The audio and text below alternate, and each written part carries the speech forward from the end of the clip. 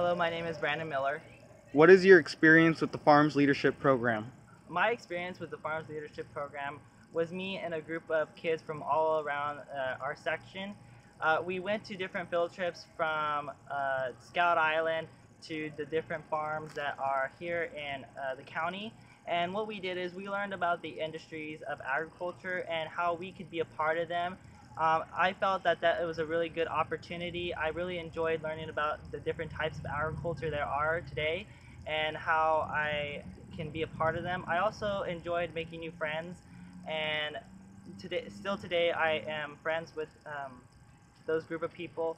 I still see them in FFA and I feel that this program is really um, beneficial to everybody and that everybody should join it because I really enjoyed it.